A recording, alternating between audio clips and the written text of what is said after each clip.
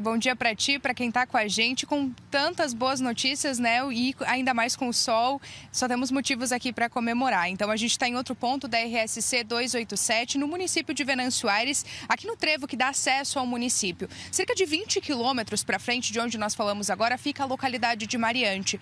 A localidade mais atingida, aqui próximo de Candelária, outro trecho também que teve a liberação total. Por lá a ponte, a cabeceira da ponte tinha sido levada com a força da água do Rio Pardo e lá então também o trecho já foi restabelecido e fazendo esse deslocamento na 287 lá de Candelária, próximo a Candelária até aqui em Venâncio Aires, a gente encontrou muito fluxo de veículos, um fluxo muito acima do que a nossa equipe de reportagem estava acostumada a pegar nos últimos, nas últimas semanas. Então a gente encontrava poucos veículos normalmente, hoje a gente já encontrou trânsito, bastante fluxo, um sinal né, de retomada, de retomada à normalidade, porque realmente essa rodovia é muito importante tanto para os moradores daqui como para fazer essa conexão. Lembrando lembrando que os, os trechos de pedágio, os pedágios aqui da RSC 287 voltaram à cobrança ainda no fim de semana por conta do restabelecimento da rodovia. Volto com vocês.